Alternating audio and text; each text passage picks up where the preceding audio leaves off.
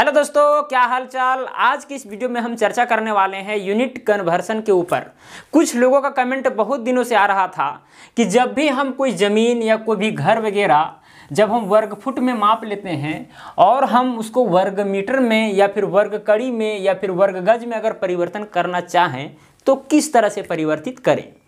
क्योंकि हो सकता है जो भी आप प्लॉट माप रहे हों, समझिए कि इस तरह से प्लॉट है। सत्तर फीट लंबा है और फिर 20 फीट चौड़ा है। अब ये आयताकार प्लॉट है भाई तो लंबाई को गुना चौड़ाई से करना पड़ेगा। तो कितना आ जाएगा 1400 स्क्वायर फीट आ जाएगा। कितना आ जाएगा 1400 स्क्वायर फीट। अब इस 1400 स्क्वायर फीट को हम डायरेक्ट हम बदलना चाह रहे हैं वर्ग मीटर में तो कैसे बदलेंगे या फिर हम बदलना चाह रहे हैं वर्ग कड़ी में तो कैसे बदलेंगे वर्ग गज में अगर बदलना चाहें तो कैसे बदलेंगे बहुत ही आसान तरीका आज की इस वीडियो में हम बताने वाले हैं। अगर आप जानते हैं तो वीडियो को देखना यहीं बंद कर दीजिए। अगर नहीं जानते हैं तो ये वीडियो को अंत तक ज़रूर देखें, क्योंकि आज के बाद ऐसे कन्वर्सन के लिए दूसरा वीडियो देखने की ज़रूरत नहीं है। और एक चीज़ और, जैसे कि मान के चलिए, अगर हम कोई ज़मीन मापते हैं वर्ग कड़ी में, और हमको उसको बताना है कि भाई वर्ग फुट में कितना होगा, वर्ग मीटर में कितना होगा, वो भी आज हम सीख लेंगे। दो सवाल पर चर्चा करेंगे, मूल रूप से, ठीक है? तो आपको समझ में पूरा क्लियर आ जाएगा।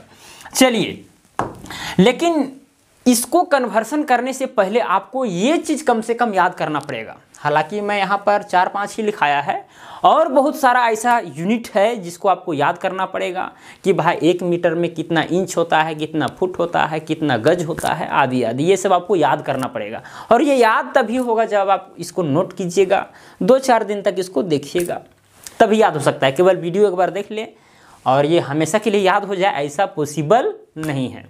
हाँ एक आध व्यक्ति होंगे ऐसा जिसको एक ही बार में याद हो जाए, लेकिन उतना पॉसिबल नहीं है। खैर, देखिए यहाँ पर ये सब आपको याद करना पड़ेगा कि भाई एक मीटर में 3.28 फुट होता है, ये आपको याद करना पड़ेगा। एक मीटर में कितना होता है? 3.28 फुट, यानी कि सवा तीन फुट से हल्का सा ज़्यादा मतलब कि सवा तीन फुट मान सकते हैं। ओके? एक गज में होता है तीन फुट, ये सबको पता होगा। मैं बहुत सारा वीडियो में बताए हैं। फिर एक फुट में होता है 0.33 गज। देखिए, अगर आपको एक चीज़ ये वाला याद रहेगा कि एक गज में होता है तीन फुट तो फिर एक फुट में कितना गज होता है आसानी से निकाल सकते हैं। एक फुट में कितना? गज होता है आसानी से निकाल सकते हैं। जैसे कि यहाँ पर क्या करेंगे? इस तीन से एक को क्या करेंगे? भाग लगा देंगे। तो वो चीज़ एक फुट का मान आ जाएगा। ओके, ये सब तो आप जानते होंगे। नहीं जानते होंगे तो कमेंट कर दें। इसके ऊपर भी वीडियो हम बना करके लेते आएँगे, ठीक है? अब देखिए, यहाँ पर एक फुट में कितना होता है? कड़ी में होता है one point five one five. कड़ी। यानी कि एक फुट अगर हम बात करते हैं तो उसमें कितना कड़ी होता है? लगभग डेढ़ खड़ी कितना? लगभग डेढ़ कड़ी। लेकिन यहाँ हम एग्जैक्टली लिख दिए कि वन फुट में one point five one five कड़ी होता है। फिर एक कड़ी में कितना होता है? Zero point six six foot ये कैसे आया? Zero point six six foot ये one point five one five को हम क्या करेंगे? इधर लाएँगे। तो वन को क्या करेंगे? भाग लगा देंगे इससे। तो वो एक कड़ी का मान आ जाएगा। खैर हाँ पहला सवाल मेरे सामने क्या था? सवाल ये था कि 2800 वर्ग फुट को हमको किसमें चेंज करना है? वर्ग कड़ी में, वर्ग मीटर में, वर्ग गज में। चलिए, बदलते हैं। 2800 वर्ग फुट है। देखिए, क्वेश्चन क्या है? 2800 वर्ग फुट। 2800 वर्ग फुट। अब इसको हमको बदलना है किसमें? वर्ग कड़ी में सबसे पहले बदलते हैं। तो देखिए, एकदम तरीका बहुत ही आसान है, केवल आपको ध्यान देना है। 2800 वर्ग फुट को आप क्या कीजिए? 2800 गुना में क्या कीजिए? एक वर्ग फुट लिख दीजिए। देखिए, ये दोनों चीज़ बराबर है। अब 2800 को गुना एक वर्ग फुट से कीजिए तो 2800 वर्ग फुट आएगा, ये तो आप जान रहे हैं। यानी कि ये कुल मिलाकर के जो नीचे लिखे हैं, वो 2800 वर्ग फुट ही है। लेकिन तरीका लिखने का केवल अलग है। चलिए, अब इससे क्या फ़ायदा होगा? इससे यह फ़ायदा होगा कि देखिए, यहाँ 2800 का 2800 लिखेंगे गुना। अब एक वर्ग फुट को हम लिख देंगे, एक फुट का स्क्वायर एक फुट का क्या लिख देंगे? स्क्वायर ऐसा क्यों? देखिए, एक वर्ग फुट को हम लिख सकते हैं आसानी से एक फुट का स्क्वायर क्योंकि यहाँ पर स्क्वायर लिखा गया है तो भाई एक का स्क्वायर करेंगे तो एक आएगा, और फुट का स्क्वायर करेंगे तो वर्ग फुट इसका मतलब हुआ। है कि नहीं? खैर अब यहाँ पर देखिए, और आगे इसके करेंगे, अट्ठाईस सौ यहाँ पर लिख देंगे, गुना। अब यहाँ पर एक फुट में कितना कड़ी होता है, ये अब आपको यहाँ पर लिखना पड़ेगा। इसीलिए ये सब काम हम कर रहे थे। अगर आप इस वर्ग फुट को, इस वर्ग फुट को आप वर्ग कड़ी में बदलना चाह रहे हैं तो यहाँ पर एक फुट का मान कड़ी में कितना होगा, ये लिखना पड़ेगा। अगर गज में निकालना चाह रहे हैं तो गज वाला लिखना पड़ेगा। जैसे कि यहाँ एक फुट का मान कितना है कड़ी में? One point five one five कड़ी। तो यहाँ पर लिख देंगे one point one point five one five. अब यहाँ फुट था, वो किसमें चेंज हो गया? कड़ी में। अब भाई इसका स्क्वायर था पहले से तो इसका स्क्वायर भी करना पड़ेगा। नहीं समझ आया? एक फुट का स्क्वायर था तो एक फुट के जगह पर हम क्या लिख दिए? One point five one five कड़ी। तो देखिए फुट में था वो कड़ी में चेंज कर, चेंज हो गया। क्योंकि हम जान रहे थे कि एक फुट में इतना कड़ी होता है। अब देखिए यहाँ पर इस चीज़ को आगे बढ़ाइए। तो जाएगा अट्ठाईस गुना। अब one point five one five कड़ी का है होल स्क्वायर। तो इस संख्या का पहले करेंगे स्क्वायर। इस संख्या को उसके बाद में किसका करेंगे? कड़ी का स्क्वायर करेंगे। सिंपली है कि नहीं? तो ये स्क्वायर करने पर संख्या का आता है two point two nine five. अब कड़ी का स्क्वायर करेंगे तो वर्ग कड़ी आएगा। वर्ग कड़ी। चलिए, इतना तो समझ में आ गया होगा। अब यहाँ पर इसको गुना कर दीजिए। ये संख्या है भाई, और ये संख्या है। दोनों को गुना कर दीजिए। गुना करने पर आता है चौसठ छब्बीस दशमलव तिरसठ। वर्ग कड़ी। देखिए चेंज हो गया। नहीं चेंज हुआ।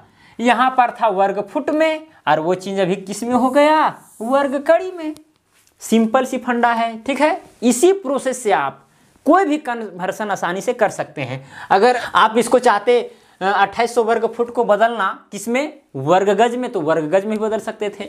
यहाँ जो एक फुट का जो मान लिखे हैं, यहाँ पर one point five one five, वहाँ पर एक फुट में कितना गज होता है, ये चीज़ लिखना पड़ता है, यानी कि ज़ीरो पॉइंट थ्री थ्री गज यहाँ पर लिखना पड़ता है, ये वाला यहाँ पर। अब स्क्वायर करके कैलकुलेशन करके जितना आता, उतना वर्ग गज हो जाता, अट्ठाईस वर्ग फुट का मान। या फिर अगर वर्ग मीटर में, सवाल में क्या था? वर्ग कड़ी में बदलना था। वर्ग कड़ी में तो बदल दिए। कितना आया? कितना आया? लिख देते हैं यहाँ पर। आ गया है चौसठ छब्बीस दशमलव तिरसठ। चौसठ छब्बीस दशमलव तिरसठ। इतना वर्ग कड़ी आया। अब ये कितना वर्ग मीटर आएगा, कितना वर्ग गज आएगा, ये तो हम अभी बता ही रहे थे। वर्ग गज में अगर बदलना रहता तो यहाँ पर एक फुट का मान गज में कितना होता है? ज़ीरो पॉइंट थ्री थ्री गज। तो यहाँ पर ज़ीरो पॉइंट थ्री थ्री गज लिख देते हैं। इसका स्क्वायर करते हैं कैलकुलेशन की जितना अपना, उतना वर्ग गज आंसर हो जाता। तो शायद आपको समझ में आ गया होगा, आप अपने से कर सकते हैं। कोई दिक्कत नहीं है। दूसरा सवाल भी कर देते हैं तो क्लियर हो जाएगा, आप अपने से बना सकते हैं। हम वर्ग कड़ी में केवल करके दिखाए हैं। केवल हम वर्ग कड़ी का निकाल कर दिखाए हैं, वर्ग मीटर वाला भी अपने आप निकाल सकते हैं, वर्ग गज का भी निकाल सकते हैं। हो सकता है आपको वर्ग मीटर वाला निकालने में दिक्कत आ सकती है, क्योंकि आपको पता नहीं है कि भाई एक फुट में कितना मीटर होता है, यहाँ पर लिखा गया है। नहीं लिखा गया, लेकिन यहाँ के संबंध से हम निकाल सकते हैं कि एक फुट में कितना मीटर होता है। हम जान रहे हैं कि भाई एक मीटर में इतना फुट होता है। एक मीटर में इतना फुट होता है तो एक फुट में कितना होगा? जैसे कि यहाँ पर लिखा गया है, एक मीटर बराबर three point two eight foot. अब इसको इधर भाग, भागम ले आइए। नहीं, जैसे कि यहाँ पर लिखेंगे एक मीटर इज़ इक्वल टू अब थ्री पॉइंट टू एट है। अब इसको इंटू हम लिख सकते हैं एक फुट आराम से आराम से, क्योंकि थ्री पॉइंट टू एट को गुना अगर एक फुट से करेंगे तो three point two eight foot ही आएगा, ऊपर वाला ही आएगा। अब ये जो थ्री पॉइंट टू एट है, इधर ले आइए इसको डिवाइड में। तो डिवाइड में अगर लाते हैं तो यहाँ आ जाएगा थ्री पॉइंट टू एट है कि नहीं? अब ये वाला क्या हो जाएगा? यहाँ से हट जाएगा, यहाँ से हट जाएगा, इसको हटा देते हैं। हट गया। तो यहाँ पर एक फुट का मान आ गया कितना? एक फुट बराबर आ गया एक बट्टा थ्री पॉइंट टू एट। ये थ्री है। क्या है? ये थ्री है। Three point two eight. यानी एक को भागा थ्री पॉइंट टू एट से लगाएँगे तो वो चीज़ मीटर में आ जाएगा एक फुट का मान। कोई दिक्कत? तो यहाँ पर एक फुट का मान मीटर में रख दीजिएगा। कैलकुलेशन करने पर जितना आएगा उतना वर्ग मीटर आंसर। चलिए, समझ में आ गया होगा। ये आपने से कर लीजिएगा। चलिए, अब यहाँ पर दूसरा सवाल था। कि अगर हम कोई ज़मीन को मापते हैं वर्ग कड़ी में तो फिर उसको हम वर्ग फुट में, वर्ग मीटर में, वर्ग गज में कैसे बदलें? बस वही तरीका अपनाना है। सतासी सौ पचपन वर्ग कड़ी है। सतासी सौ पचपन वर्ग कड़ी है, इसको मिटा देते हैं। कोई दिक्कत? इसको मिटा देते हैं। चलिए।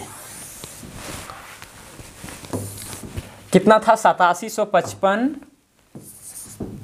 चलिए, ब्लैक मार्कर से लिखते हैं। सतासी सौ पचपन वर्ग कड़ी। यही ना था। यही था सतासी सौ पचपन वर्ग कड़ी। अब इसको बदलना किसमें हमको? वर्ग फुट में बदलते हैं। सबसे पहले क्या करते हैं? वर्ग फुट में। तो वही तरीका अपनाना है। सतासी लिखना है। पचपन लिखना है। इंटू में लिख देना है। एक वर्ग कड़ी। एक वर्ग कड़ी। अब इतना लिखने के बाद में आप लिख सकते हैं इसको सतासी, पचपन इंटू एक वर्ग कड़ी को आप लिख दीजिए। एक कड़ी का स्क्वायर क्या लिख दिए? एक कड़ी का स्क्वायर अब यहाँ पर इससे क्या होगा? सतासी, पचपन उसी तरह यहाँ पर आ जाएगा। गुना, अब एक कड़ी का मान फुट में कितना होता है? देखिए तो एक कड़ी का मान 0.66 फुट होता है। तो आप एक कड़ी के जगह पर 0.66 फुट आसानी से लिख सकते हैं। इसका हो जाएगा स्क्वायर कोई दिक्कत? अब यहाँ पर देखिए सतासी, पचपन into zero point six six foot का करेंगे स्क्वायर तो कितना आएगा? ये आ जाएगा आपका ज़ीरो दशमलव तैंतालीस छप्पन ज़ीरो दशमलव तैंतालीस छप्पन, इतना आ गया। अब ये फुट का करेंगे स्क्वायर तो किसमें हो जाएगा? वर्ग फुट में हो जाएगा। ओके, अब इसको गुना कीजिए। ये वाला टर्म और ये वाला टर्म दोनों संख्या को गुना करेंगे तो ये आ जाएगा अड़तीस, तेरह दशमलव सड़सठ, वर्ग कड़ी। शायद आपको समझ में आ रहा होगा आसानी से। बहुत ही आसान तरीका है, एक ट्रिक है, बहुत ही अच्छा ट्रिक है। ठीक है तो यहाँ पर देखने पर क्या आया कि भाई जो सतासी जो वर्ग कड़ी में दिया गया था, वो चीज़ वर्ग कड़ी में दिया गया था नहीं सॉरी सॉरी यहाँ पर वर्ग फुट होगा। क्या होगा? वर्ग फुट होगा। क्या हो गया तब? यहाँ पर सतासी पचपन जो वर्ग कड़ी था, वो वर्ग फुट में आसानी से चेंज हो गया इसी तरीका से। तो आप कोई भी कन्वर्जन आसानी से कर सकते हैं। और इसमें सवाल था सतासी सौ पचपन वर्ग कड़ी को वर्ग फुट में तो बदल दिए हैं वर्ग मीटर में भी बदलना है वर्ग गज में भी बदलना है तो इसको भी आप बदल सकते हैं। बस तरीका अपनाना है। यहाँ पर जो लिखा गया एक कड़ी उस एक कड़ी के जगह पर लिखना पड़ेगा कि भाई ए, एक कड़ी में कितना मीटर होता है। आप वहाँ से कैलकुलेशन करके निकाल सकते हैं। वो है लेंथ का यूनिट लेंथ का। और ये सब जो है वर्ग कड़ी हो गया, वर्ग फुट हो गया, वर्ग मीटर हो गया, ये है एरिया का यूनिट है एरिया का यूनिट तो इस वीडियो में केवल हम एरिया के यूनिट पर ही लिमिट रहेंगे। लेंथ वाला यूनिट के विषय में अगर वीडियो बनाने के लिए बोलेंगे तो कमेंट कीजिए, उस पर भी वीडियो बन जाएगा। तो इस तरह से मुझे उम्मीद है कि आप किसी भी किसी भी एरिया के यूनिट का आप कन्वर्सन कर सकते हैं, उसके यूनिट का आसानी से। अगर समझ में नहीं आया तो वीडियो को दोबारा देख लीजिए, गारंटी समझ में आ जाएगा। चलिए तो आज के लिए इतना ही। अब मिलेंगे अगला वीडियो में। जय हिंद, जय भारत।